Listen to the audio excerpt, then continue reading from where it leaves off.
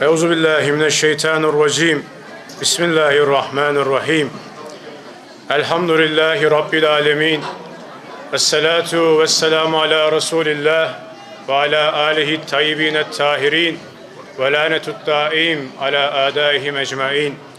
Minel an ila kıyam yevmiddin.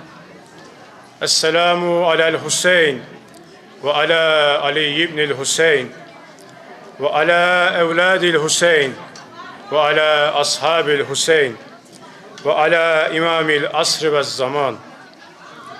Evet değerli cemaat, değerli hazirun.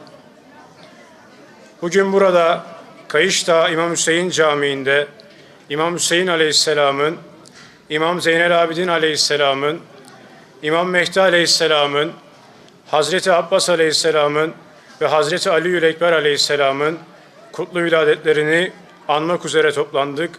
Hepiniz programımıza hoş geldiniz. Hepinizin bayramı mübarek olsun. Bildiğiniz üzere Şaban ayı içerisindeyiz ve bu ay Resulullah'a nispet verilen bir aydır. Bu ayın ilk 15 gününde ise Resulullah'ın soyundan, onun tertemiz ehli beytinden, isminiz şimdi zikrettiğim beş nadide insanın doğum günlerini idrak ediyoruz. Sizlere doğum tarihleriyle alakalı malumatı kısaca aktarmak istiyorum. 3 Şaban İmam Hüseyin Aleyhisselam'ın doğum günü. 4 Şaban Hazreti Abbas Aleyhisselam'ın doğum günü. 5 Şaban İmam Zeynel Abidin Aleyhisselam'ın doğum günü. 11 Şaban Hazreti Ali Yürekber Aleyhisselam'ın doğum günü. Ve son olarak 15 Şaban zamanımızın imamı İmam Mehdi Aleyhisselam'ın doğum günü. Allah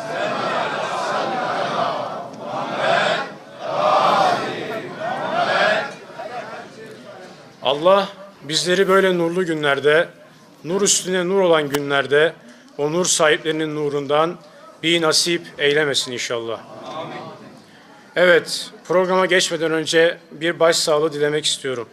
Bildiğiniz üzere 2 Mart Perşembe sabah saat 4'te Bakü şehrindeki Meşedi Dadaş Mescidi'nin kıymetli alimi Hacı Şahin Hesenli kalp krizi sebebiyle Allah'ın rahmetine kavuştu. Öncelikle tüm ailesine ve sevenlerine başsağlığı ve sabırlar diliyorum. Kendisi mektebin çok önemli bir alimiydi. Özellikle İslamiyet'i umuma sevdirecek şekilde anlatabilmesi, farklı ideoloji ve yaşam tarzlarına sahip insanlara İslam'ı sevdirip gönüllerinde heyecan, coşku ve huzur yaratabilmesi ve birçoklarının hidayetine vesile olması cihetiyle çok önemli bir şahsiyetti. Özellikle gençlerin sevgilisi ve istifade merkeziydi. Birçokları sohbetlerine müracaat eder, suallerine cevap bulur, sıkıntılı anlarında onun sohbetleriyle morallenir ve dini şevki azaldığında onunla onu takviye ederdi. Ölümüyle gerçekten İslam binasında kapanmaz bir delik açtı. Allah kendisine rahmet eylesin. Amin. Geride kalan alimlerimize bol hizmetli, hayırlı ömürler versin. Selavat buyurun.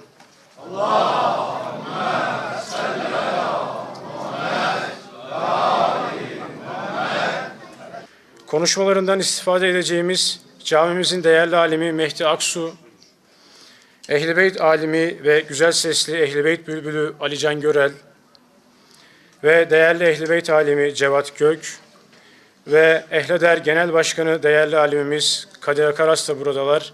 Hepsine hoş geldiniz diyorum. Euzubillahimineşşeytanirracim. Bismillahirrahmanirrahim. Resul-i Ekrem sallallahu aleyhi ve aleyhi ve sellem şöyle buyurdu. Hüseyin bendendir, ben de Hüseyin'denim. Allah onu seveni sevsin. Şimdi Kur'an tilavetini yapmak üzere Ehl-i Beyt'in bülbülü, değerli alimimiz Sayın Ali Can Göreli, Ali selavatlarınız ile kürsüye davet ediyorum. Allahümme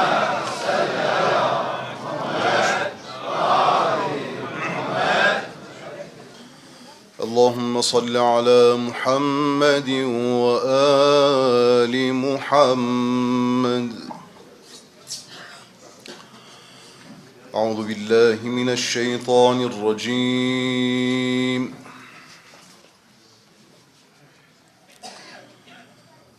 بسم الله الرحمن الرحيم.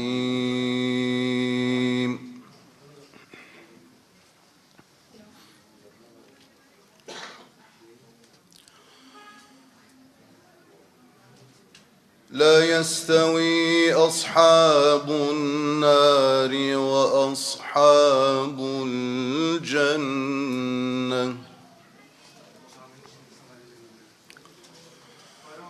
أصحاب الجنة هم الفائزون.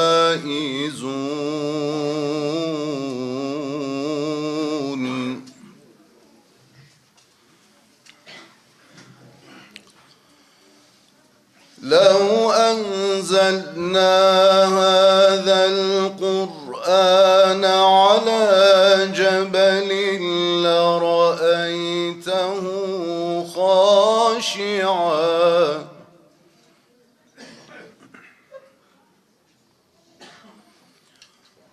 على جبل لرأيته خاشعا متصدعا من خشية الله.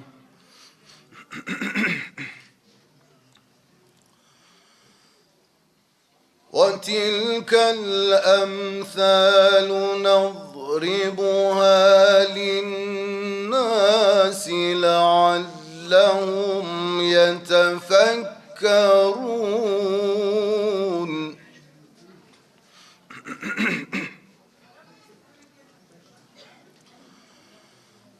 هو الله الذي لا إله إلا هو.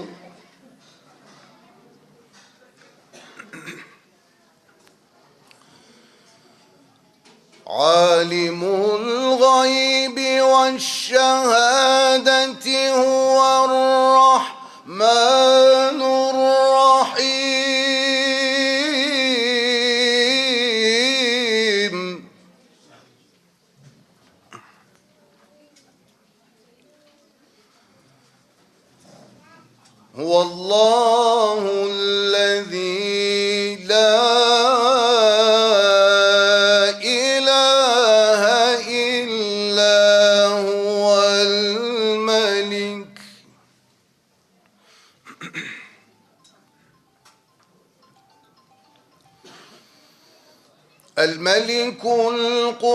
القدوس السلام المؤمن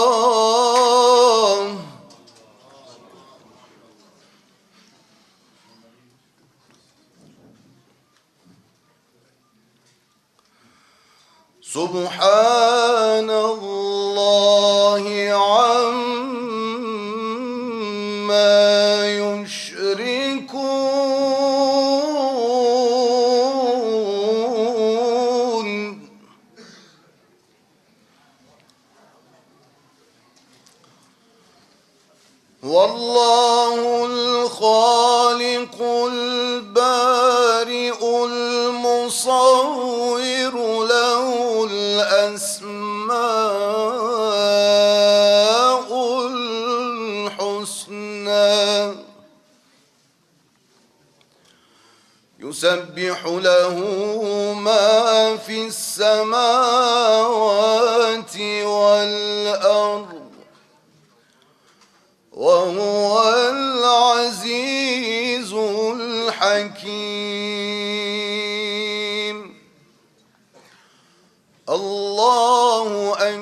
أكبر ولله الحمد. بسم الله الرحمن الرحيم. والعصر إن الإنسان لفي خسر والعصر إن الإنسان لفي خسر إلا الذين آمنوا وعملوا الصالحات وتواصوا بالحق وتواصوا بالصبر صدق الله العلي العظيم. اللهم صل وسلم وزد وبارك على رسول الله وآله الأطهار. على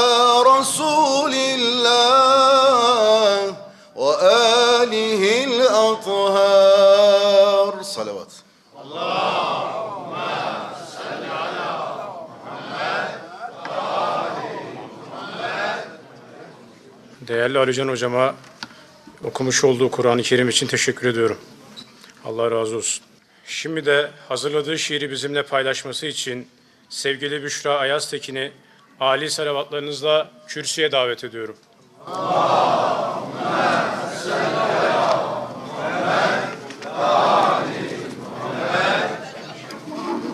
Bizim güneş, bizim güneş el açıp yalvardı Kerim Allah'a. Doğsun güneş acele doğsun.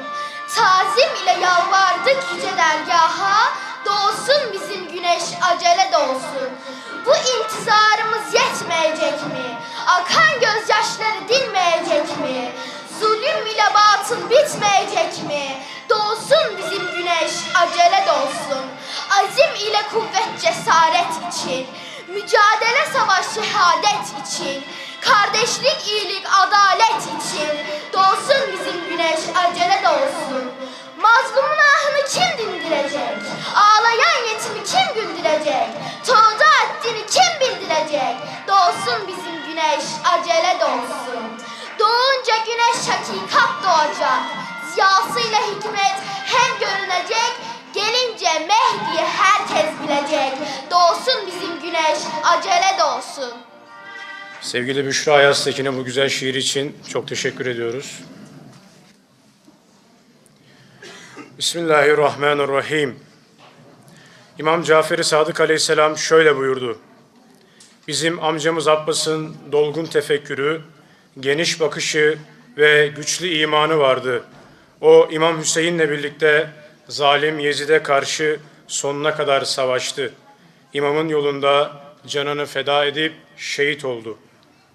Şimdi de açılış konuşmalarını yapmak üzere sosyal medyadaki videoları ve yazdığı kitaplarla birçok müşkül meseleleri izah etmiş, soruları yanıtlamış ve önemli çalışmalar yapmış camimizin alimi Sayın Mehdi Aksu'yu âli selavatlarınızla kürsüye davet ediyorum.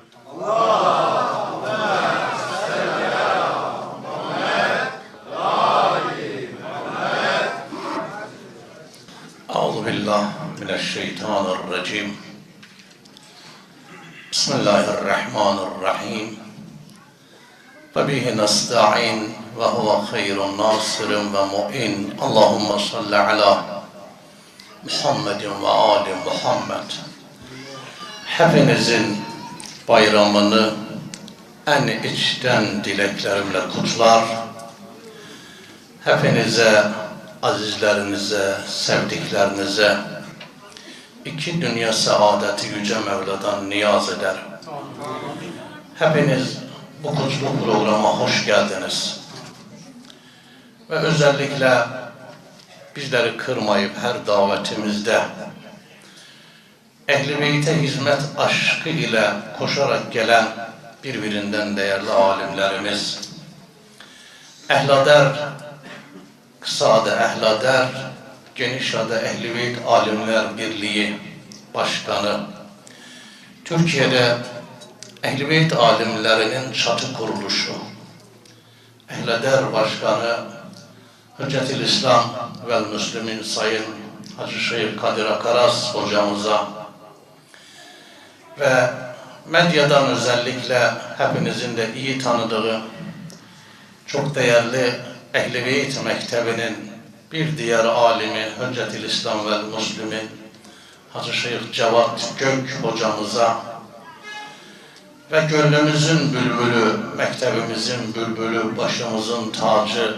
hem ilmiyle hem nefesiyle bu mektebe hem Türkiye içinde hem Türkiye dışında kasetleriyle hizmet eden, ilahileriyle hizmet eden, vaizleriyle hizmet eden Hüccetül İslam ve Müslümin Hacı Şeyh Ali Can Görel hocamıza hepinizin huzurunda şahsım adına, cemaatim adına, yönetimim adına teşekkürlerimi sunarım. Ve bir teşekkürü de ayrıyeten aziz başkanımız, Ehlader Genel Başkanımıza tekrar sunmak istiyorum. Malumunuz biliyorsunuz yurt dışlarına ben çok giderim. Programlara, televizyon programlarına, yurt içinde konferanslara. Hepinizin huzurunda şunu bilmenizi isterim ki eğer ben yurt dışındaki programlara gidebiliyorsam bunun en önemli sebeplerinden birisi Kadir Akaras hocamızdır. Neden? Çünkü benim yerime bir alim göndermese ben hiçbir yere gidemem. Ne konferanslara gidebilirim, ne yurt dışındaki televizyon programlarına gidebilirim. Ne zaman alo dediysem hocam falan gün benim programım var. İstanbul dışına çıkmak zorundayım. Bizim yerimizi boş bırakmamıştır. Buraya bir alim göndermiştir. Gönderdiği alim de benden daha güzel alimdir. Benden daha efendim bilgili bir alimdir. Böyle birisini buraya gönderdiği için de hem gönderdiği için hem öyle bir alimi gönderdiği için ayrıyeten teşekkürlerimi sunarım. Allah vücudunu bütün alimlerimizle beraber bize çok görmesin Ali bir selavat buyurun.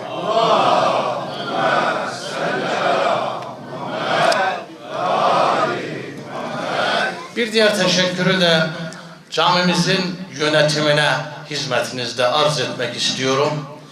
Kaç gündür bu programın bu şekilde oluşması için adeta seferber olmuş durumdalar. Değerli başkanımız Hacı Kıyas Yardımcı kardeşimiz ve yönetim kuruluna da teşekkürlerimi sunarım.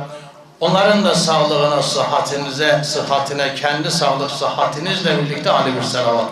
Okan kardeşimiz konuşmalarını yapmak üzere diye anons ettiler. Ben birbirinden değerli üstadlarımın huzurunda konuşmayı kendime ukalalık addederim. Onlar benim üstadlarım. Onların önünde konuşmayı doğru bulmuyorum. Ama her üçünün de yüksek müsaadesi ile üç tane hadis arz edip üzerinde durmadan hemen mikrofonu alimlerimize bırakacağım. Birinci hadis Ubey ibn Kâb'dan. Ubey ibn Kâb diyor ben bir gün Peygamber Efendimizin yanında oturmuştum. İmam Hüseyin aleyhisselam küçük bir çocuktu. içeriye girdiler. Peygamber Efendimiz onu gördüğünde buyurdular. Merhaben. Merhaben bike ya Eba Abdillah. Ya Zeynel semavati vel arazin. Hoş geldin.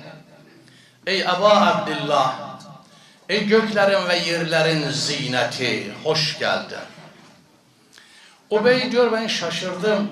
Dedim ya Resulallah. Sen levlake levlak hitabına muhatap olmuşsun. Allah buyurmuş sen olmasan ben alemleri yaratmazdım. Yerlerin ve göklerin zineti sen değil misin ki bu sözü Hüseyin hakkında söylüyorsun? Diyor Peygamber Efendimiz buyurdular ki vellezî ba'asene bil hakkı nebiyyah Beni peygamberliğe mebuus eden Allah'a andolsun. Ennel Hüseyin ibn Ali fis sema ekber minhu fil arz.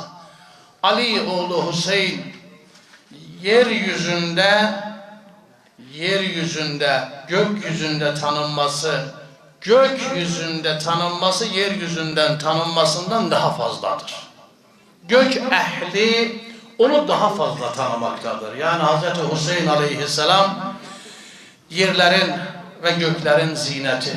Bu birinci hadis. İkinci hadis İmam Zeynel Abidin aleyhisselamdan İmam Hasanul Askeri aleyhisselam buyuruyor. Buyuruyor ki İmam Zeynel Abidin aleyhisselam buyurdular. Bu hadis tefsir Hasanul Askeri aleyhisselamda nakledilmiş. Allah Azze ve Celle Hazreti Musa aleyhisselama buyurdu. Musa benim kullarımı bana sevdir. Benim kullarımı bana sevdir. Beni de benim kullarıma sevdir. Hem kullarım beni sevsin hem ben kullarımı seveyim. Bunu yap. Diyor Hazreti Musa dedi ya Rabbi keyfe ef'al. Ben bunu nasıl yapabilirim? Seni kullarına nasıl sevdirebilirim? Kullarını sana nasıl sevdirebilirim? Buyurdu ki Musa benim nimetlerimi, benim lütuflarımı onlara anlat. Ve Musa bunu yaparsan onlar beni severler. Bir şeyi de yaparsan sana yüz senelik ibadetin sevabını yazacağım. Bir şeyi de yaparsan. Abiki benim kapıma getirirsen, zalli benim kapıma getirirsen, sana yüz senelik ibadet sevabı yazacağım. Öyle bir yüz sene ki, o yüz senenin gündüzlerinde oruç var, gecelerinde ise sabahlara kadar namaz ibadeti var. Böyle bir yüz sene. Sadece bir şey yap ya Musa. Müminler dikkat edin bu hadiste iki kavrama. Bu iki şeyden birisini yapana Allah yüz sene, senin ömrün ne kadar? 80-100 eğer yaşayabilirsek tabii ki. Ama diyor bir şey var onu yap sana 100 senelik ibadet sevabı. Hem de öyle sıradan 100 sene değil. Ya Rabbi nedir o? Dedi abigi benim kapıma getir. Zalli benim kapıma getir. Rabbim abik kimdir? Buyurdu ki şeytana uyan günahkar. Şeytana uyan günahkar benim kapımdan uzaklaşmıştır. Şeytana doğru gitmiştir. Onu oradan al benim kapıma getir. Dedi ya Rabbi zal kimdir? Buyurdu ki cahilun ehle imame zamanihi zal ise kendi zamanının imamını tanımayan insan. Kendi zamanının imamını tanımayan insan zal. Onun için Peygamberimiz buyurur men mate ve ya'rif imame zamanihi mate miteten cahiliye.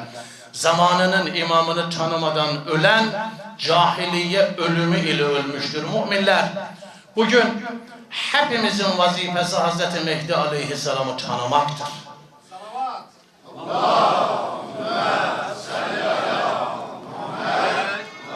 Hazreti Mehdi aleyhisselama bir genci o hazretle tanıştırır isen, bir gence bir insana zamanının imamını anlatır isen, kabullendirir isen, bu senin için nedir? Allah iradesinde yüz senelik ibadetin sevabıdır.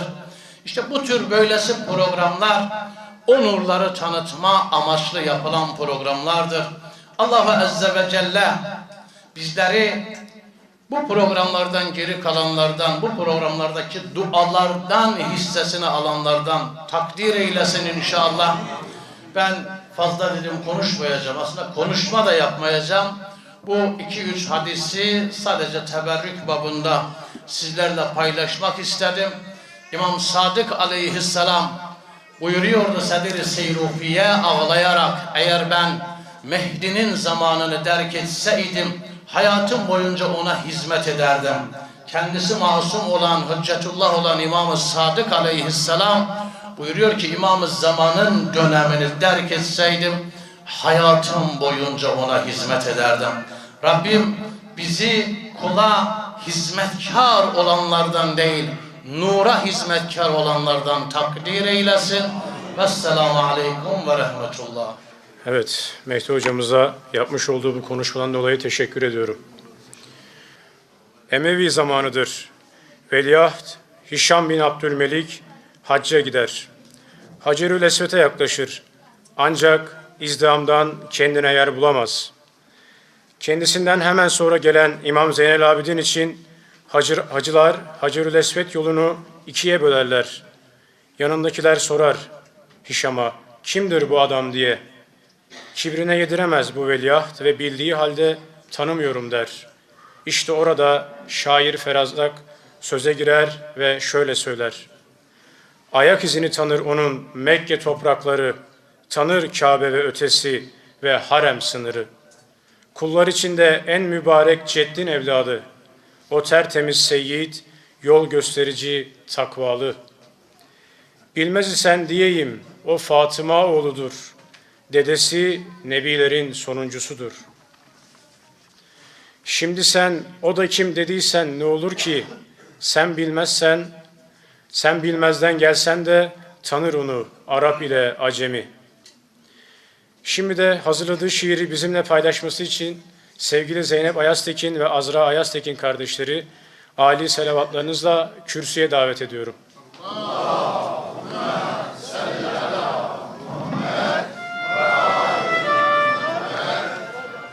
Salim kapına gelmişim senin.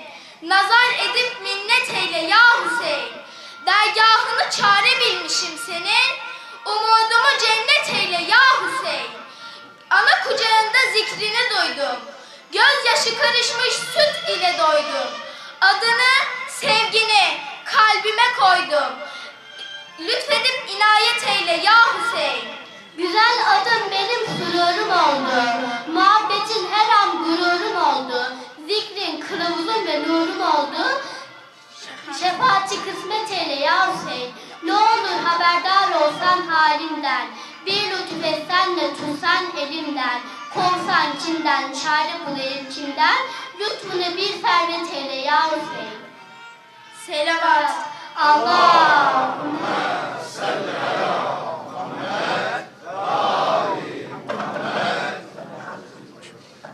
Zeynep Ayaztekin ve Azra Ayaztekin kardeşlere teşekkür ediyoruz. Allah onları selamet etsin. Gerçekten çok güzel bir şiir okudular. Şimdi de konuşmalarını yapmak üzere Ehleder Başkanı Sayın Kader Akarası Ali selavatlarınızla kürsüye davet ediyorum.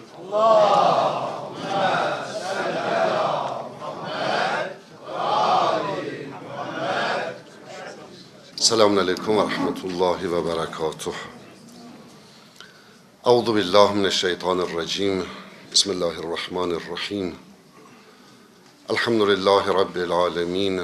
والصلاة والسلام على رسول الله وعلى أهل بيته الطيبين الطاهرين ولعنة الله على أعدائهم أجمعين من الآن إلى قيام يوم الدين.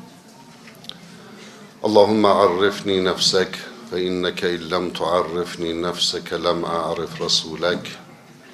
اللهم عرفني رسولك فإنك إن لم تعرفني رسولك لم أعرف حجتك اللهم عرفني حجتك فإنك إن لم تعرفني حجتك ضللت عن ديني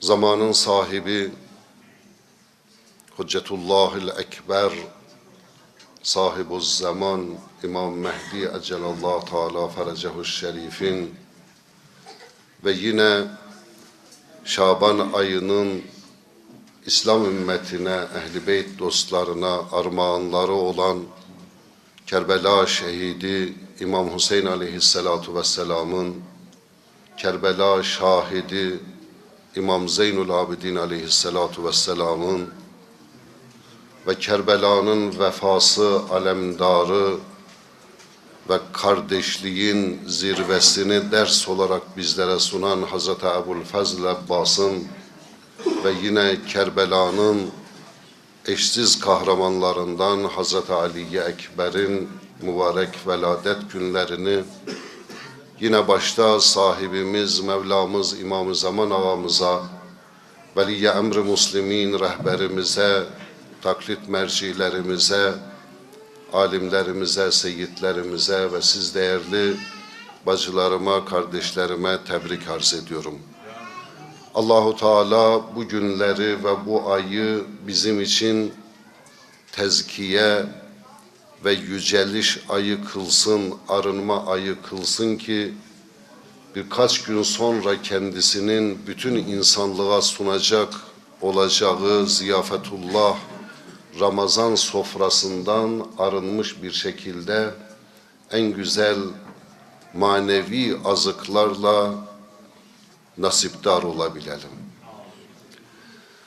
Teşekkür ediyorum bu programı düzenleyen İmam Hüseyin aleyhissalatu vesselam adına müzeyyen olan caminin cemaatine, yönetimine ve hasreten aziz kardeşim Hüccetül İslam Mehdi Aksu kardeşime ki bu zahmetleri çektiler ve bizleri de bu manevi sofraya davet ettiler.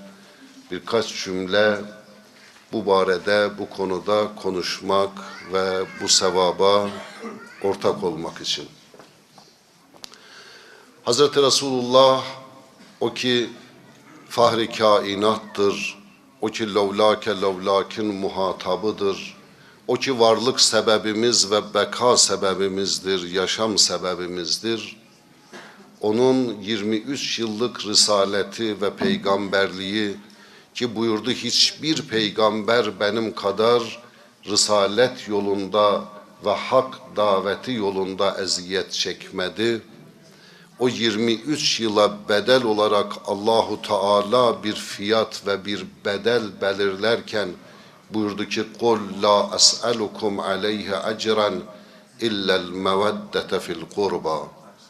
Ey Resulüm bu 23 yılın bedeli fiyatı karşılığı ise sadece ve sadece benim ehli beytime meveddet duymaktır, sevgi duymaktır. Meveddet muhabbetin bir derece üstüdür. Muhabbetin biraz şiddetlenmiş hali, biraz derin haline biz aşk diyoruz, Kur'an meveddet diyor. Yani Risaletin 23 yılın ki o 23 yıl 124 bin peygamberin ödemiş olduğu bedellerin tamamına eşdeğer bir bedeldir. Onun bedeli ise ehli beyte olan sevgi, muhabbet, meveddet ve aşktır. Bu sevgi sadece bizim insanların herhangi bir şeyi sevmemize benzemiyor. Bu sevgi bir insanın evini sevmesi, arabasını sevmesi, evladını sevmesi, eşini sevmesine benzemiyor. Bunların hepsi değişebilecek şeylerdir. Evdir yıkılabilir. Allah hiçbir ülkeye, hiçbir millete vermesin. Geçen günlerimizde ülke olarak, millet olarak bir deprem yaşadık ve bu bayramları aslında buruk yaşıyoruz. Bir tarafta 50 bin insanımızı kaybettik, on binlerce yaralı var ve on binlerce binalar yıkıldı enkaz altında. Bu burukluk içerisinde bu bayramları idrak ediyoruz. Evlerimiz, sevdiğimiz evlerimiz yıkılabilir. Sevdiğimiz eşimizi kaybedebiliriz. Evladımız enkaz altında kalabilir. Kendimiz enkaz altında yok olabiliriz. Ama ehli beyte olan meveddet, sevgi ve aşk yok olucu değil. Niye? Çünkü yine Kur'an-ı Kerim buyuruyor ki bu meveddet isteğimiz de yine sizin kendiniz içindir. Ve bu meveddet sadece dünyada kalmıyor. Bu ahirete de sizin geleceğinize de ebedi hayatınıza da etki edecektir. Yani öyle bir sevgi ki o sevgi insanın hayatının tamamını sarabiliyor. Aşkın manası da budur. Aşk hani biz sarmaşık diyoruz ya o sarmaşık bir bitkiye nasıl sarılırsa aşk da öyledir. Yani siz ehli beyte olan meveddetiniz ve aşkınızla öyle bir sarılın ki onlardan asla ayrılmayın. Peygamberimizin Sakalleyn hadisinde buyurduğu da budur.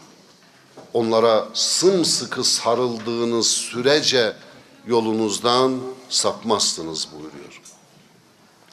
Dolayısıyla böyle bir sevginin ahirete de ebedi hayata da yansıması olduğu gibi dünya hayatımızı da şekillendiriyor.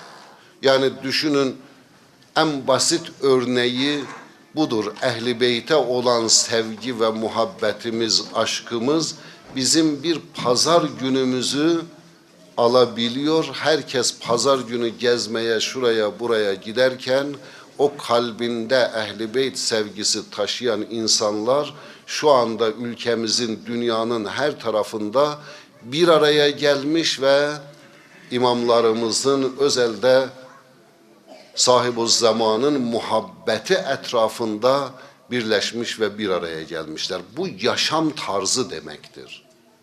Bu insanın hayatına onları hakim kılması demektir. Onların sevgisidir bizi yönlendirip buraya getirmiş ve bir arada onların ismini zikrederek, onların ismini anarak ibadet halindeyiz ve Rabbimize kulluk etmekteyiz. O kadar şahsiyetler var ki Şaban ayında Eyyad-ı Şabaniye diyoruz bunun adına Şaban ayının bayramları ve yine husn-ı tevafuktur bu ki bu isimlerin tamamı Kerbela ile ilintilidir. Yani İmam Hüseyin aleyhissalatu vesselam Hazreti Ebul Fazl, İmam Zeynül Abidin, Hazreti Ali Ekber bizzat Kerbela'da ve İmam-ı Zaman Eccelallahu Teala Ferecehu Şerif ise Kerbela'nın mesajının evrensel anlamda hakimiyetini gerçekleştirecek insan. Ona diyoruz ki Eyne talibu bedemil mektuli bi Kerbela. Nütbe duasındaki bu cümle odur. Nerededir Kerbela şehitlerinin, Kerbela'da akan kanların intikamını alacak imam? Elbette burada konu intikam değil sadece. Bizim bildiğimiz anlamda o bir şehittir ve o şehidi öldürenlerden intikam alacak. Bu bir düşünce intikamıdır aslında. Dünyaya hakim olan ehli beyt muhabbeti ve velayeti dışındaki bütün inançların bilahare bir gün biteceğini ilan edecek şahsiyettir.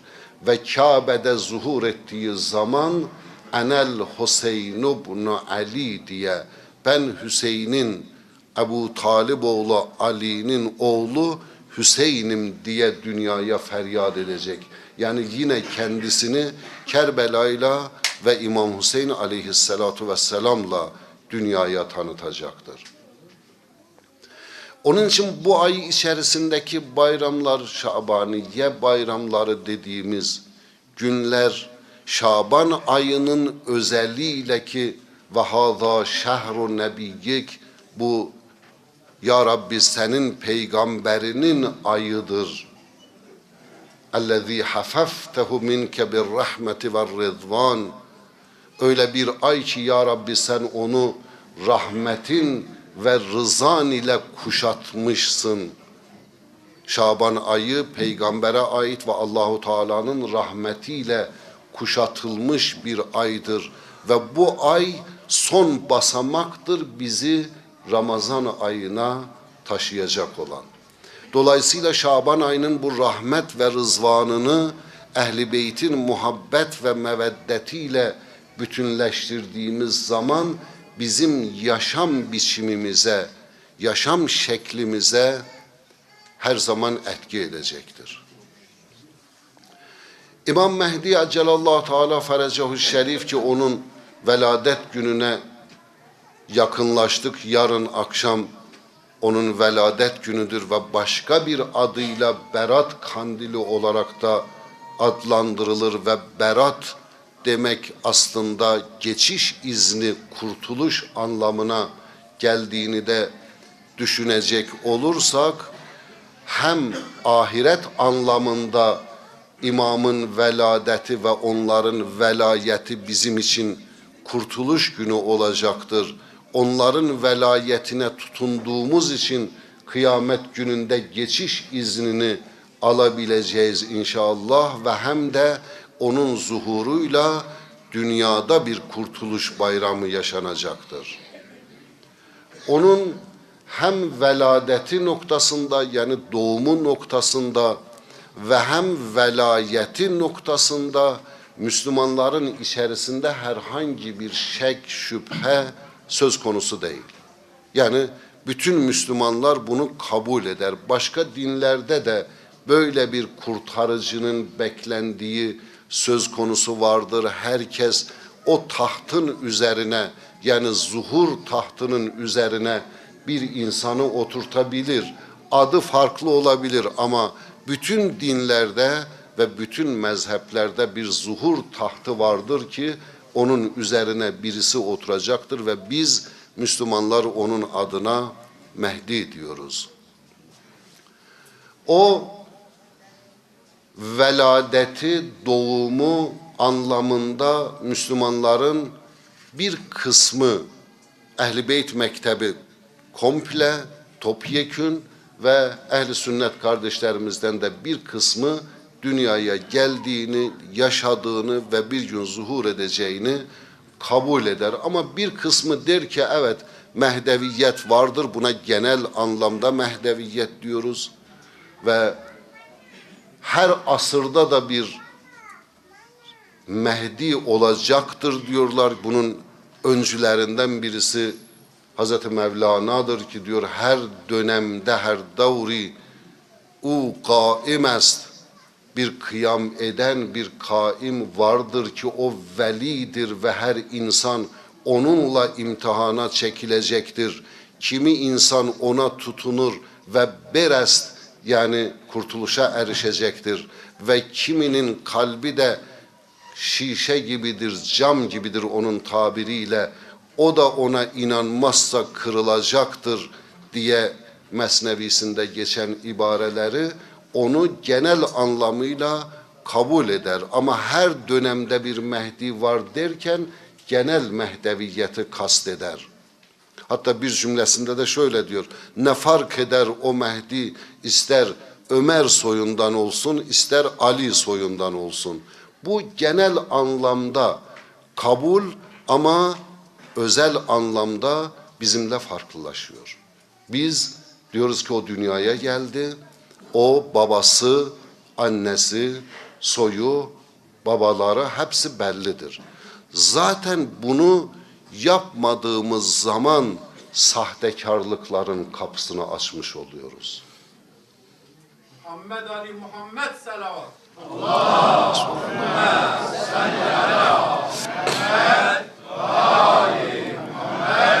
genel anlamda bir Mehdeviyetten bahsetmek, yani her dönemde bir Mehdi var demek, her dönemde onlarca sahtekarın çıkıp da ben Mehdi'yim demesinin önünü açıyor. Ama Ehl-i Beyt mektebinde hiçbir zaman böyle bir tabiri caizse ihtimal böyle bir durum söz konusu olamaz. Neden? Çünkü bunun doğum tarihi belli, bunun babası belli, bunun annesi belli, doğduğu yer belli.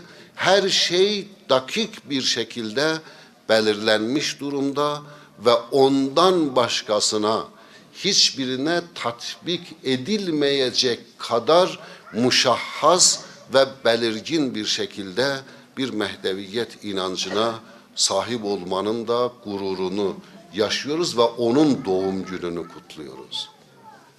Ve onunla biz hem dünyada berat arıyoruz hem ahirette. Biz şunu sorabiliriz. Berat gecesi, Berat kandili ne oldu? Niye öteki gece Berat değildi de bu gece Berat oldu? Bunun sebebi ne?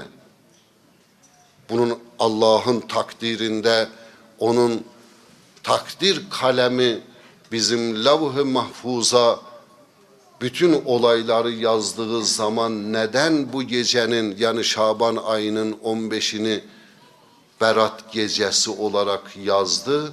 Bunun Ehli Beyt Mektebi'nin ve imamların bizim yüzümüze açmış olduğu pencerenin dışında bir cevabı yoktur. Çünkü Allahu Teala bu insanların kurtuluşunu bu dünyada takdir etmiştir ve yeryüzünün Kur'an'ın ayeti gereği biz Tevrat'ta da Zebur'da da yazdık, İncil'de de yazıldı bu. Kur'an'da da söylüyoruz bilahare yeryüzü salih kulların egemenliği altına girecektir ve biz irade etmişiz yeryüzünde mustazaf olanlar bir gün bu dünyanın tamamına hakim olup egemenliklerini kuracaklar ve liyuzhirahu aled-dini kullih ve bütün dinlerden daha üstün kılacağız bu dini derken o güne ve o kurtuluşa, o berata işaret ediyor. Zuhur yani güneşin bulut arkasından ortaya çıkışı. Biz o günü bekliyoruz. Bizim güneşimiz doğmuş ama bizim nefsimizin bulutları, müstekbirlerin oluşturduğu bulutlar, insanların hala bir takım başka şeylere umut bağlayarak tam anlamıyla Allah'a ve Allah'ın dinine yönelmemesi bulutlar gibi onun mübarek yüzünü kapatmıştır ve biz buna gaybet diyoruz. Gaybet yok oluş değil, gaybet görünmezliktir. Biz göremiyoruz. Niye? Çünkü gözlerimizde bulutlar var. Gözlerimizde perde var. Aslında cemali yar ne daret nikab perde. Veli tu khud hicab khudi hafız az miyan berhiz. Aslında onun yüzünde bir perde yok. Onu engelleyecek bir bulut yok.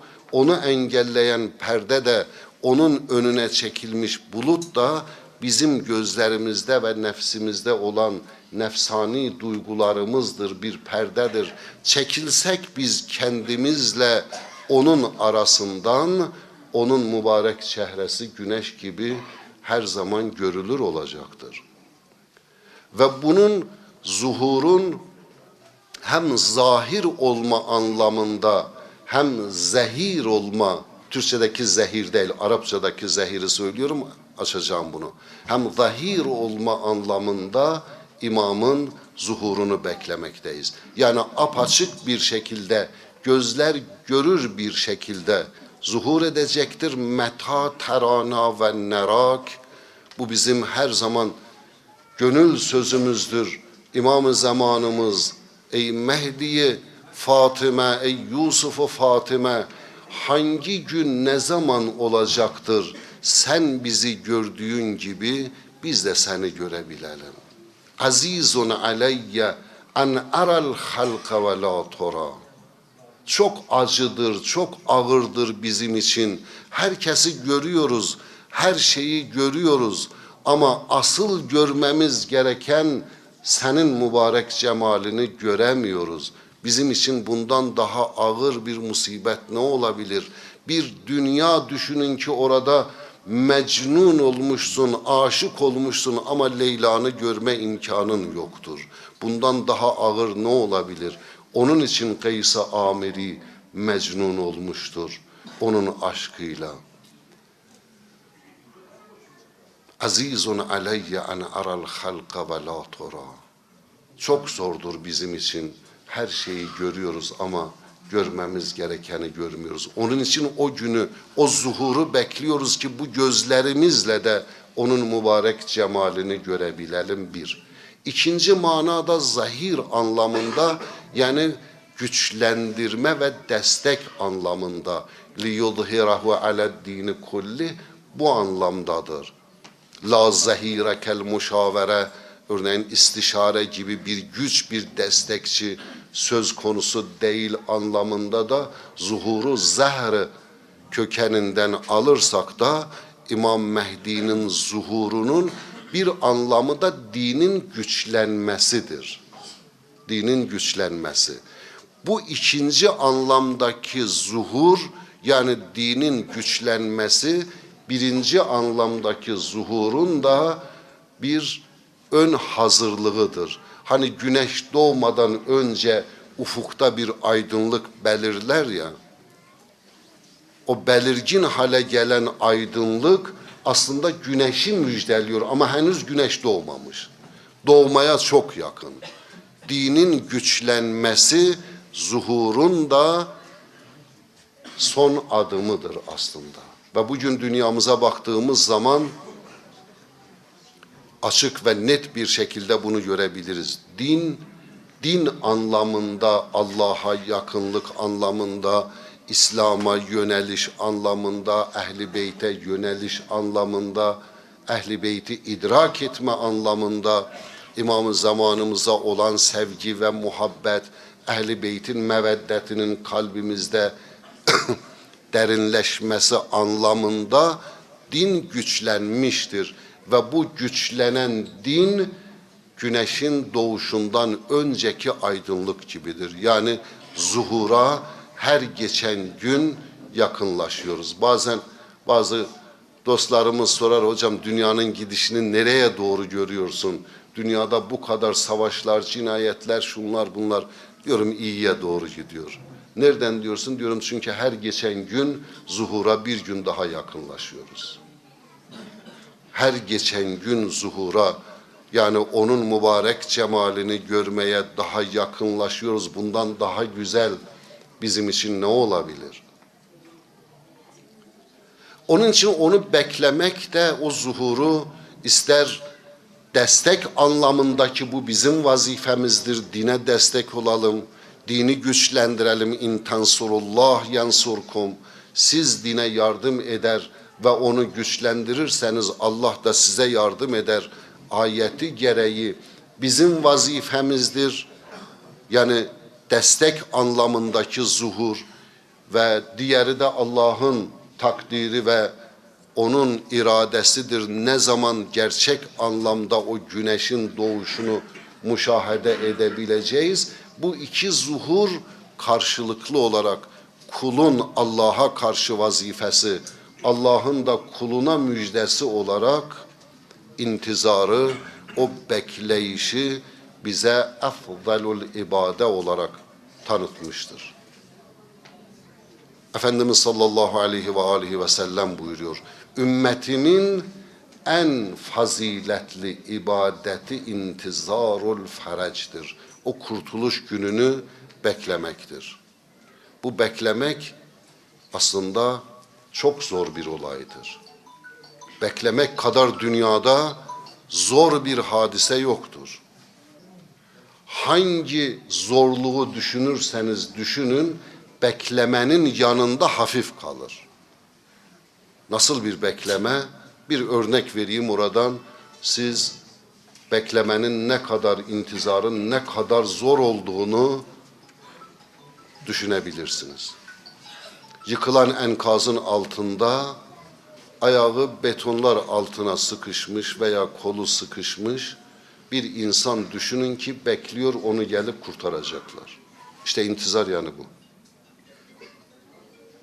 Bu insana iki gün beklemek, bir ömür beklemekten, bir ömür zorluklardan daha ağır değil mi? İntizarı öyle.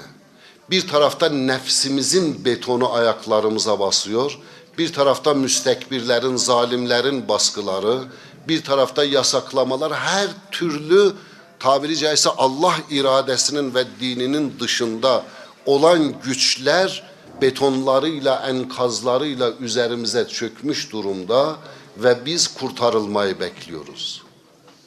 Bu duygular içerisindeki intizar efzalu a'malu ümmeti.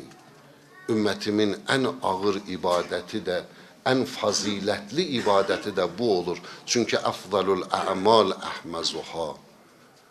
En değerli amel ve en değerli ibadet en zor olanıdır. Allah katında da böyle. Onun için bize tavsiye ediyorlar ki intizarı bu anlamda düşünün.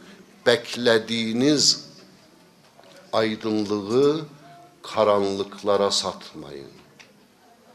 Gecenin yarasası olmayın diyor.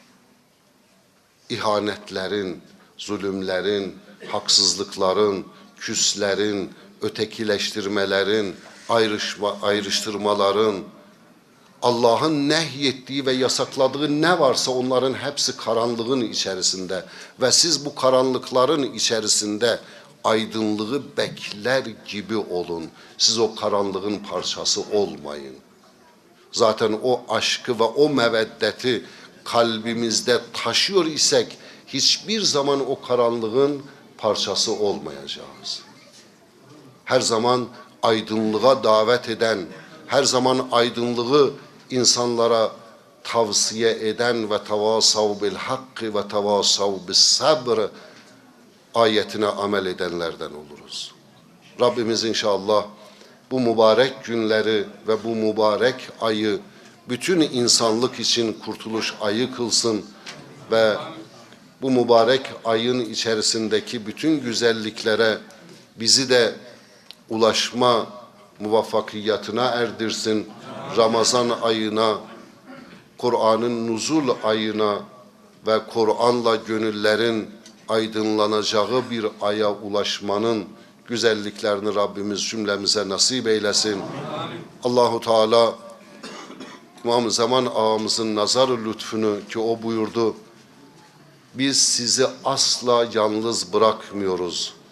Bizden gaflet içerisinde olmayın. Eğer biz sizi kendi başınıza bırakmış olsaydık, bela okları yağmur gibi sizin üzerinize yaka, yağardı. Onun için o bizi her zaman nazar lütfuyla korumaktadır.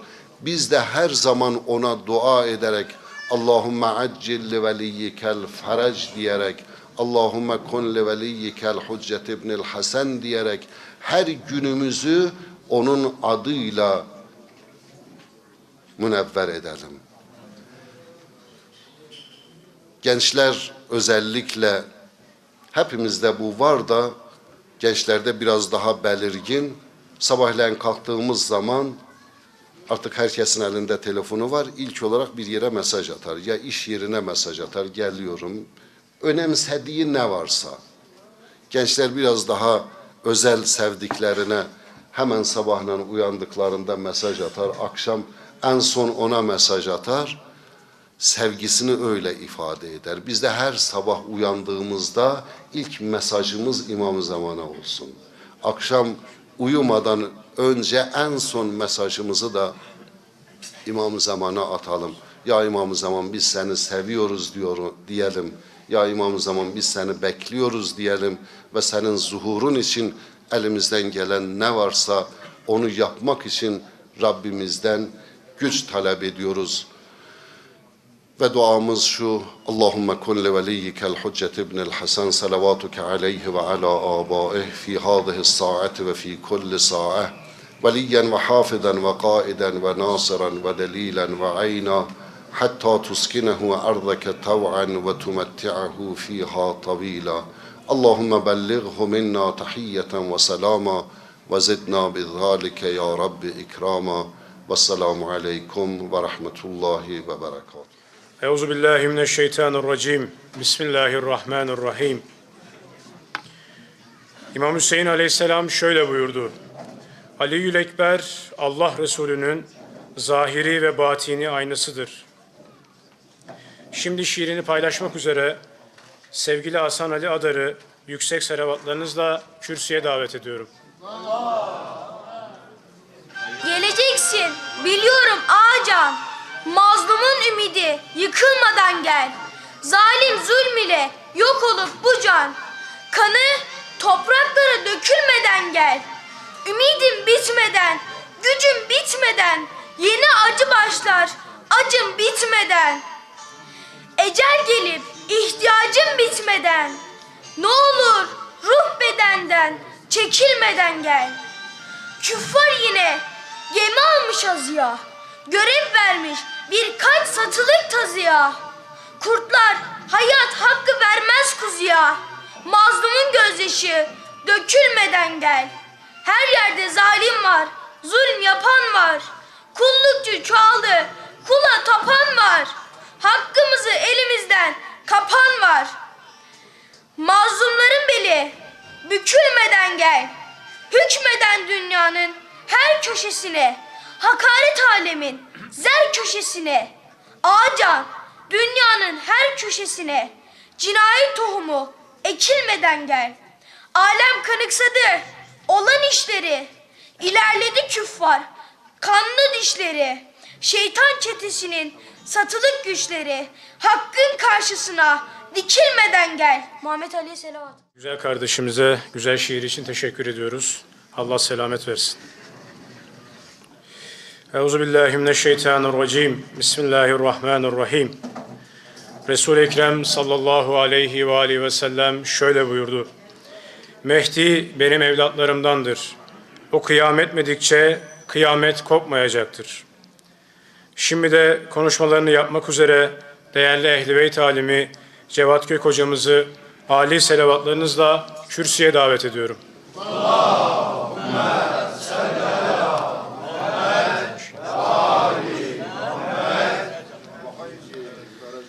Bismillahirrahmanirrahim. Allah'ın selamı, rahmeti ve bereketi hepinizin üzerine olsun.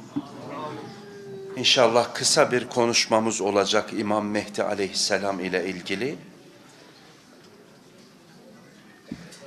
Peygamberimizin hakkında en çok söz söylediği iki kişi var. Birisi Hazreti Ali, diğeri de İmam Mehdi aleyhisselam. Bu iki şahsiyetin hakkında en çok en çok söz söylediği bu iki şahsiyettir. Allah zuhurunu acil eylesin inşallah.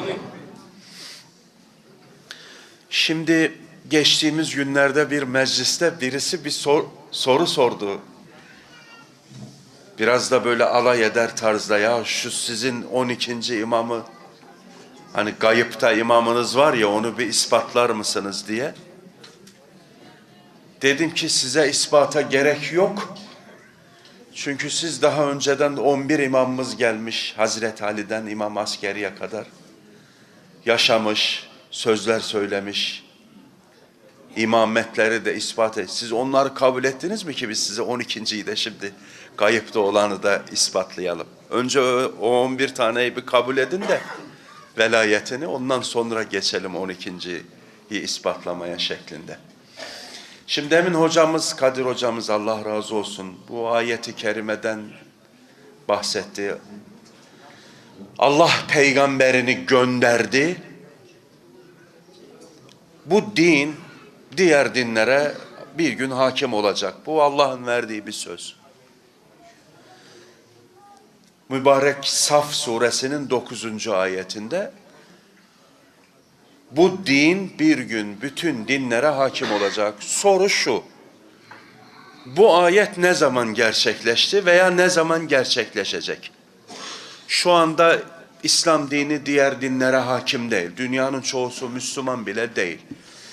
Ve İmam Muhammed Bakır aleyhisselam da buyuruyorlar ki bu ayet henüz gerçekleşmedi. Soru şu, bu ayet ne zaman gerçekleşecek? kimin eliyle gerçekleşecek? Eğer bir ateist veya Kur'an'ın varlığına inan, Kur'an'ın hakkaniyetine inanmayan birisi bu soruyu sorsa ne cevap vereceğiz?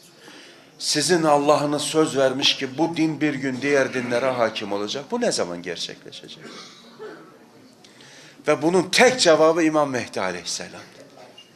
Çünkü normal bir insanın bu dini bütün dünyaya hakim etme şansı yok. 1400 senedir böyle gelmiş. Ve bu gidişat bu şekilde giderse bu din asla diğer dinlere galip gelemeyecek. Şu anda da dünya zaten Hristiyan olanlar tarafından çoğunlukla yönetiliyor değil mi? Yani Amerikalılar, İngilizler, Fransızlar, Ruslar vesaire. Biz kendi evimize dahi bu dini daha doğru düzgün hakim kılamazken normal insanlardan bahsediyorum. Olağanüstü birinin mutlaka gelip bu ayeti gerçekleştirmesi gerekiyor. O da İmam-ı Zaman Hazreti Mehdi Aleyhisselam'ın varlığıyla olacaktır inşallah. Bir ayeti daha okuyacağım. Bu ehli sünnet kardeşlerime hitaben idi. Allah Kur'an-ı Kerim'de buyuruyor ki Bismillahirrahmanirrahim يَوْمَ نَدْعُوا كُلَّ اُنَاسٍ بِاِمَامِهِمْ O gün herkesi kendi imamıyla çağıracağız. İsra suresinin 71. ayeti. O gün herkesi kendi imamıyla çağıracağız. Yani kıyamet gününde Allah'ın huzuruna çıktığında senin şahidin olarak Allah'ın huzuruna bir imamı tanıtman lazım. Diyeceksin ki benim zamanımın imamı işte budur diye. Soru bu. Bu zamanda yaşayan insanların imamı kimdir? Sen Allah'ın huzuruna hangi imamla çıkacaksın? Şimdi yine Kur'an-ı Kerim'de Allah buyuruyor ki biz cinleri ve insanları ibadet etsinler diye yarattık. Bak çok dikkat buyurun inşallah sohbetimi kısa keseceğim. Yaratılıştaki hedef ibadet etmektir. Kur'an böyle buyuruyor. Seni yediğin, içtiğin, gezdiğin hepsi kendi yerinde ama asıl hedef bu değil. Allah seni çok yüce bir hedef için yaratmış. İnsanlar bakıyorsun 60 yıl, 70 yıl, 80 yıl yaşıyor. Ya hiç düşünmüyor ki ya Allah beni niye yarattı? Hangi hedef için yarattı ya? Yani benim eğer yaşantım haşa hayvanın yaşantısıyla bir olacaksa, ye iç keyfine bak olacaksa ya benim hayvandan bir farkım kalmaz ki. Allah beni hangi yüce hedef için yarattı? Kur'an'da buyuruyor ki ibadet için yarattı. Burası tamam. Madem bizi ibadet için yarattıysa, şu anda yeryüzünde 7 milyar insan var ya, bunların hangisi Allah'ın istediği o kamil ibadeti, tam ibadeti, mükemmel ibadeti kim yapıyor? Mesela Hazreti Adem yaratıldığında o zamanın insanların içinde Hazreti Adem en mükemmel ibadeti yapan idi.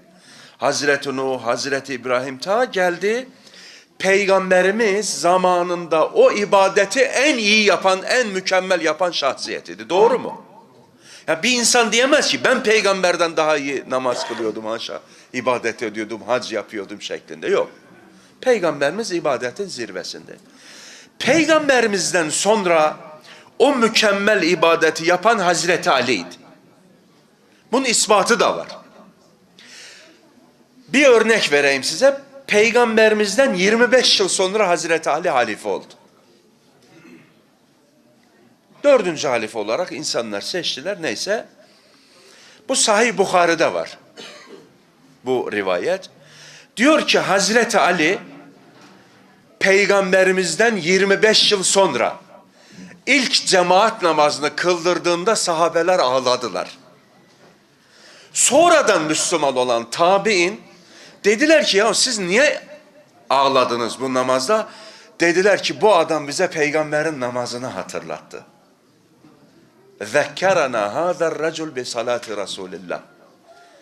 Bizim unuttuklarımızı ve hatta değiştirdiklerimizi bize hatırlattı diye ehli sünnetin Sahih Bukhari'de yazıyor. En mükemmel ibadeti yapan Hazreti Ali'ydi.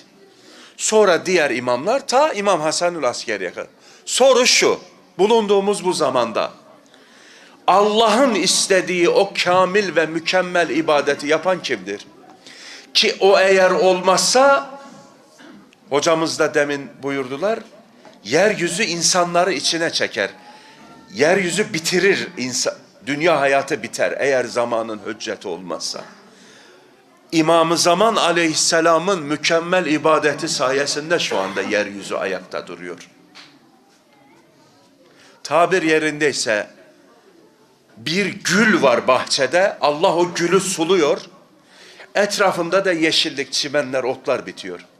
İmam Zaman Aleyhisselam'ın benzetmek biraz abes olur ama o bahçedeki gül gibidir. Etrafındaki o yeşillikler de onun sayesinde geçiniyor. Esas hedef o gülün sulanması ve büyümesi ve zinetlendirmesi. Bir salavat katmedin.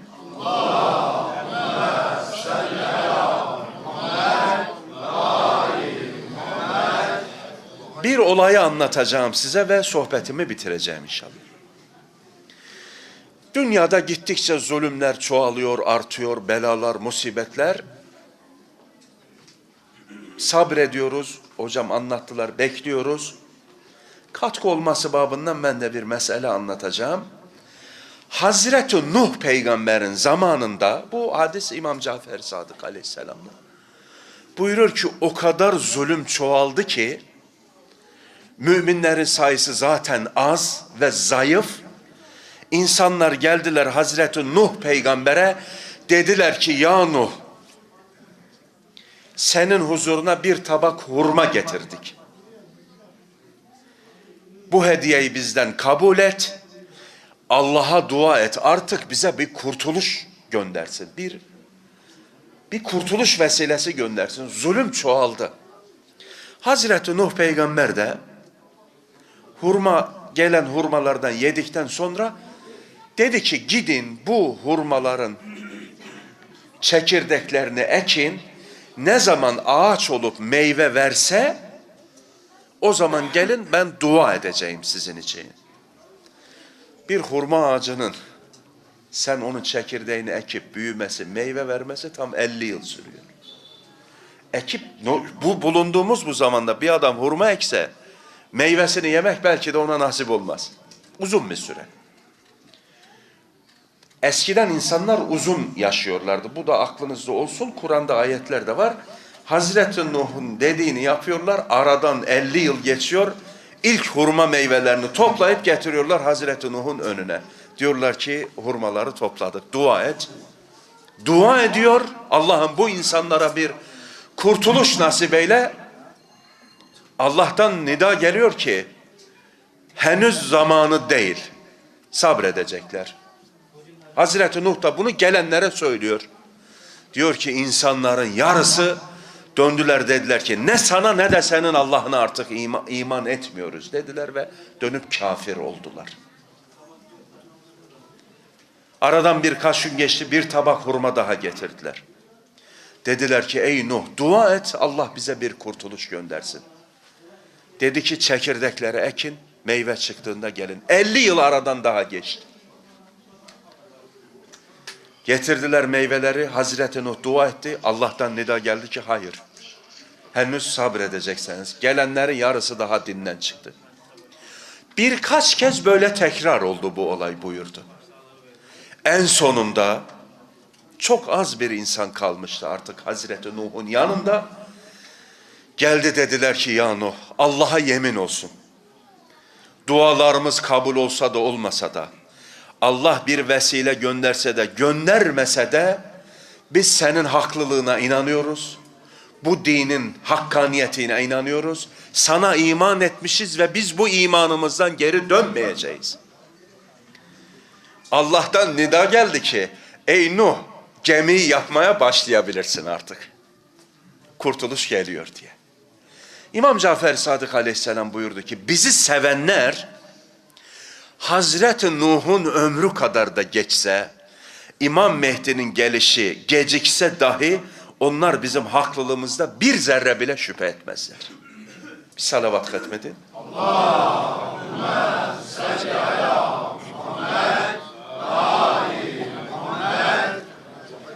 Dünya hayatı zor. Evet sabretmek zor. Her musibette diyoruz Allah neden İmam Mehdi Aleyhisselam'ı göndermiyor ama bu imtihan dünyasıdır ve biz inanıyoruz ki o kurtuluş gemisiyle gelecek ve yeryüzünde bütün insanlara yeryüzünde Allah'ın dininin haklılığını ispatlayacak inşallah. Bazen soruyorlar mesela geldiğinden ne bekliyorsunuz diye. Mesela hani deniliyor ya işte adaleti getirecek diye. Ben yad etmeden ge- geçemeyeceğim merhum İmam-ı Ümmet'in bu sözü gerçekten çok mükemmel bir cümledir İmam Hümeyni'nin rahmetullahi aleyh. Diyordu ki sadece adaleti getirmeyecek. Allah'ın bütün güzel isimlerini insanlara tanıtacak. O geldiği zaman rahmetin ne olduğunu o zaman anlayacak insanlar. Sadece adalet değil bak. İlmin ne olduğunu o zaman insanlar anlayacak. Yani bütün güzellikleri İmam-ı Zaman aleyhisselam insana tanıtacak. Allah'ın güzel isimlerini tanıtacak diyordu merhum. Yani Allah'ın Vedud ismini yani sevgi, merhamet, ilim, kudret ne varsa onun vücudu. Hazreti Ali buyuruyor vallahi İmam Mehdi aleyhisselam geldiğinde yüzüne bakan herkes ona aşık olacak diye buyuruyordu. İnsanların yüreğine, kalbine onun sevgisi içirilecek diye bir tabirde e, e, bulunuyordu Hazreti Ali. Böyle bir imamı bekliyoruz. Ha insanlar nasıl iman edecek diye sorsanız onu da söyleyeyim kısaca. Ev yaptırdığında en mükemmel mühendisi istiyorsun değil mi? Hasta olduğunda en iyi doktor. Öyle mi? Profesör olsun işte vesaire. Bir takımı tuttuğunda en güçlü takıma gidiyorsun vesaire. İnsanoğlu yaratılış gereği hep o enlerin peşindedir. En güzel, en mükemmel, en kudretli, en takvalı, en alim. İmam-ı Zaman aleyhisselam işte o enlerin zirvesidir. Ve gören herkes ona iman edecek Allah'ın izniyle. Son olarak bu hadisi şerifi arz edeyim. İmam Cafer Sadık aleyhisselam buyuruyor ki biz ehli beytin ilimlerini yayarak biz ehli beytin dostlarının kalbini sağlamlaştıran alim binlerce ibadet edenden daha üstündür diye buyuruyor. O ehli beytin sözlerini yayarak biz iki gün boyunca Azerbaycan'da bu merhum Hacı Şahin hocamızın cenaze merasiminde taziyesindeydik. İnşallah bu alimlerin kadir kıymetini sağken bilelim. Bu mektebin koruyucuları Allah kendilerini selamet eylesin. Hakikaten bunu gözlerimizle gördük ve şahit olduk. Ehli beytin güzelliklerini insanlara yaymakla meşguller İmam-ı Zaman aleyhisselamın mektebini insanlara yayıyorlar. O meşhur bir sözdür. Der ki oğul ben hayattayken sağken bana getir bir bardak su ver. Öldükten sonra mezar taşıma su dökmemin çok faydası olmaz. O sadece saygı babından değil, ilimlerinden istifade edilsin inşallah. Bu mektep çok zor şartlarda bugünlere geldi. Kerbela'da İmam Hüseyin'in kanına mal oldu. Ve diğer imamlarımızın şehadetine İmam-ı Zaman Aleyhisselam'ın gaybetine sebep oldu. Bu zor günlere gelip Allah'a şükürler olsun imkanlar çoğalmış. Güzel ülkemizde bu güzel özgürlükten faydalanarak ilimler yayılıyor, minberler, ekranlar, televizyonlar vesaire. İnşallah bu fırsattan istifade bu ilimleri öğrenelim ve öğretelim. Geçmişten bugüne çok zahmetler çekildi. Bugün de bu bayrak bizim elimizde inşallah gelecek nesillere, gençlerimize bu Ehli Beyt'in ilimlerini ve güzelliklerini yaymış olalım. İnşallah Hazreti Nuh'un dostlarının sabrı da olsa Allah bu mektebin sahibi olan İmam-ı Zaman aleyhisselamın zuhurunu bir an önce görmeyi hepimize nasip eylesin inşallah. Onun o güzel cemalini ziyaret etmeyi ve gözlerimizi nurani etmeyi Allah hepimize nasip eylesin. Salavat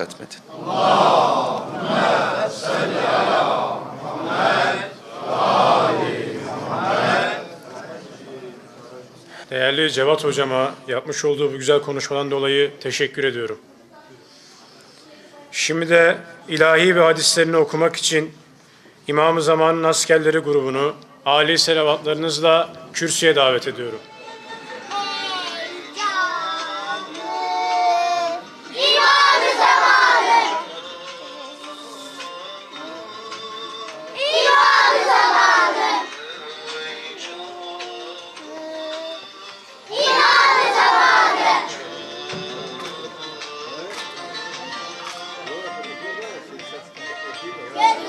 Roma!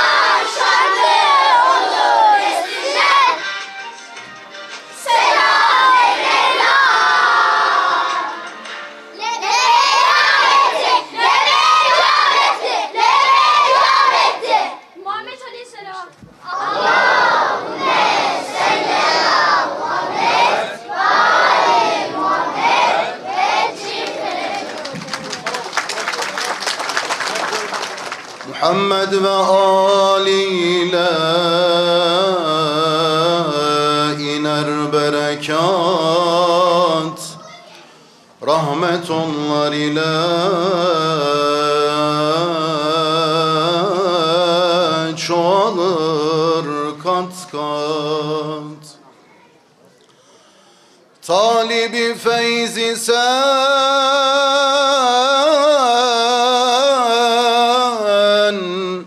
Yüce Mevla'dan Muhammed ve aline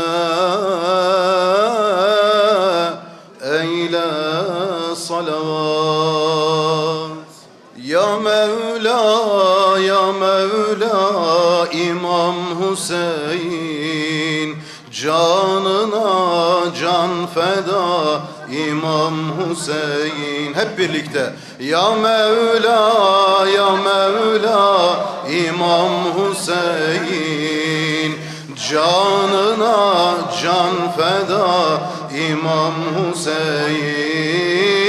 Ya Mevla İmam Hüseyin. Bir kez daha Ya Mevla. İmam Hüseyin Canına can feda. Nuruyla alemi boğdu ziyaya. Ali el Murteza şad oldu bugün Nuruyla alemi boğdu ziyaya. Ali el Murteza şad oldu bugün. Ya Mevla ya Mevla İmam Hüseyin. Bir kez daha ya Mevla Canına can feda İmam Hüseyin ya Mevla. Canına can feda Duyunca sır ehli bayram eyledi Gönülden yer ehli bayram eyledi. Semada nur ehli bayram eyledi. Hatta ehli ukba şad oldu bugün. Semada nur ehli bayram eyledi Hatta ehli ukba şad oldu bugün. Ya Mevla ya Mevla İmam Hüseyin. Daha yüksek Ya Mevla. Canına can feda İmam Hüseyin. Ya Mevla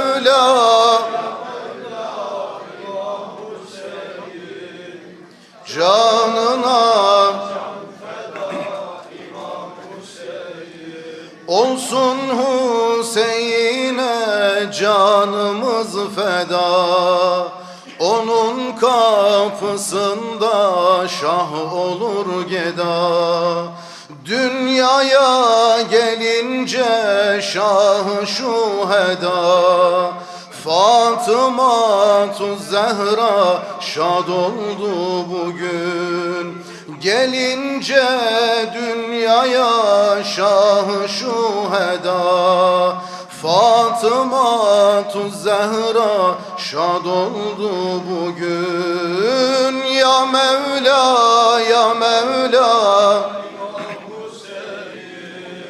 Canına can feda İmam Hüseyin. Ya Mevla. Canına Hakkın dergahında imam seçildi. Cihana mübarek nuru saçıldı. Velayet evinde güller açıldı. Hasanül Mücteba şad oldu bugün Velayet evinde güller açıldı. Hasanül Mücteba şad oldu bugün. Ya Mevla ya Mevla. Bir kez daha ya Mevla Canına can feda İmam Hüseyin. Ya Mevla Arştan arza Allah'ın fermanı geldi. Yer ehline Rahman'ın ihsanı geldi. Göz açın ey aşıklar cemali görün Alemi aşkın şahı sultanı geldi. Hüseyin nuru hüdadır Canlar ona fedadır.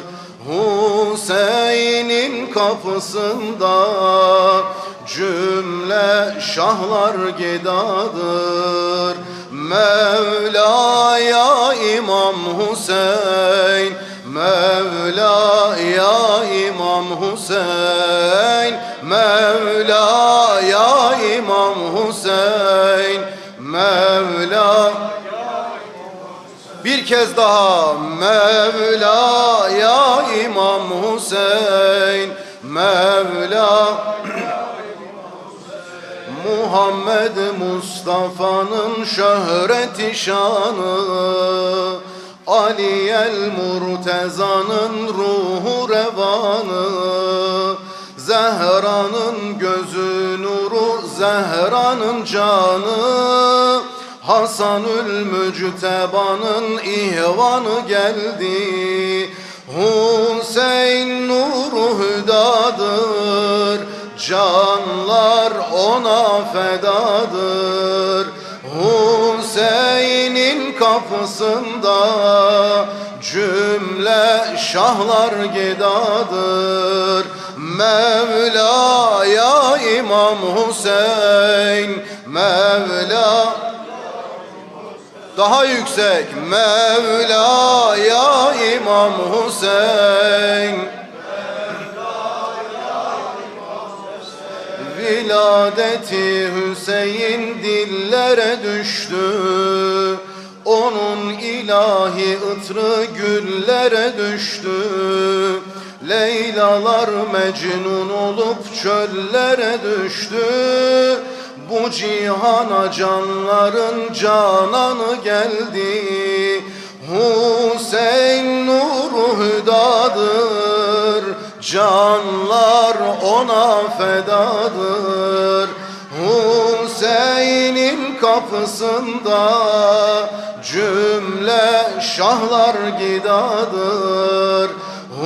Hüseyin'in kapısında cümle şahlar gidadır. Mevla'ya İmam Hüseyin Mevla'ya İmam Hüseyin Mevla Mevla Sevindi huzur buldu piri risalet. Şad oldu canı dilden şahı velayet Bar hüda aleme etti inayet. Aşıkların derdinin dermanı geldi. Hüseyin nuru hüdadır. Canlar ona fedadır. Hüseyin'in kapısında cümle şahlar gidadır Hüseyin'in kapısında cümle şahlar gedadır Mevla'ya İmam Hüseyin Mevla'ya İmam Hüseyin Mevla Mevla ya bir kez daha Mevla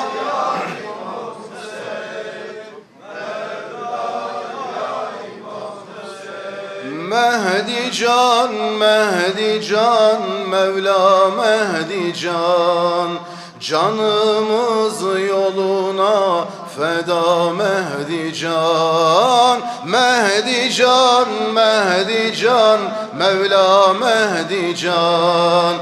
Canımız yoluna feda Mehdi can. Mehdi can Mevla Mehdi Can daha yüksek. Mehdi Can Mehdi Can. Canımız yoluna feda Mehdi Can Mehdi Can Mehdi Can.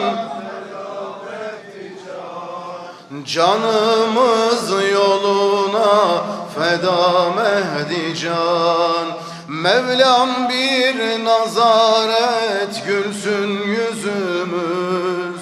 Bize kutlu haber verilsin artık. Gerçek bahar olsun bahar yazımız. Gel bulanık sular durulsun artık Gerçek bahar olsun bahar yazımız. Gel bulanık sular durulsun artık. Mehdi can, Mehdi can, Mevla Mehdi can.